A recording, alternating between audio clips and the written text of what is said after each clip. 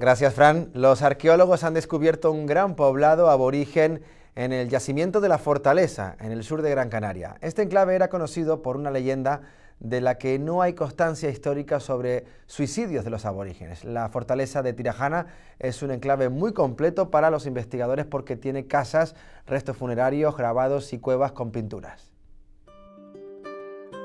La fortaleza, uno de los monumentos naturales y arqueológicos más relevantes de Gran Canaria, atesora la leyenda de Atis Tirma, el grito que los aborígenes lanzaban al arrojarse al vacío para no ser detenidos por los conquistadores, una leyenda que hoy sabemos falsa. No hay ni una reseña en las crónicas que la vale, de lo que sí hay constancia, gracias a las nuevas investigaciones arqueológicas que realiza Tibicena, es de la existencia de un antiguo poblado aborigen. Estas piedras que tenemos a nuestras espaldas, pues lo que están estapando un gran poblado, tenemos 500 años de historia bajo las piedras, que nuestro trabajo en este momento es retirarlas, ¿no? sacar a la luz ese, gran poblado posiblemente compuesto por tres grandes calles.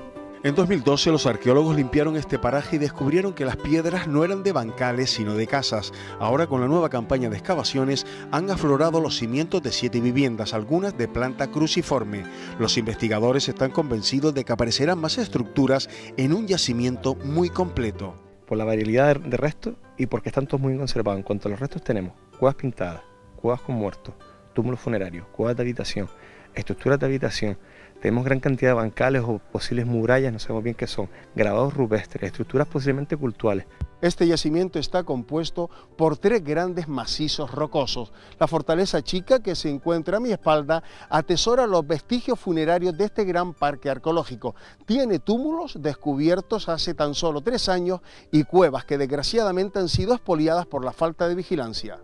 Y también faltan papeleras ante la afluencia diaria de turistas, unos visitantes que primero pasan por el centro de interpretación inaugurado este año, gracias al impulso sobresaliente que la anterior corporación del Cabildo dio al patrimonio histórico.